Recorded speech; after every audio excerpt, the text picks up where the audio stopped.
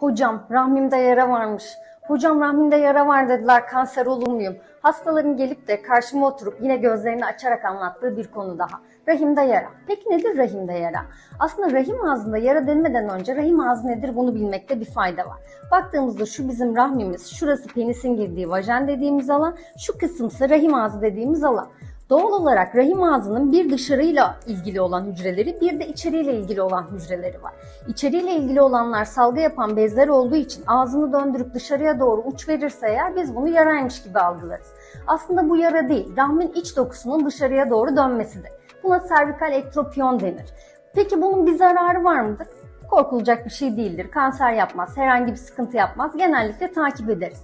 Ama ne olabilir? Eğer çok mukuslu kanlı akıntınız oluyorsa, ilişki sonrası kanamalarınız oluyorsa, sık enfeksiyonunuz oluyorsa hekiminizin değerlendirmesine göre tedavi planı çizilebilir. Sevgiyle.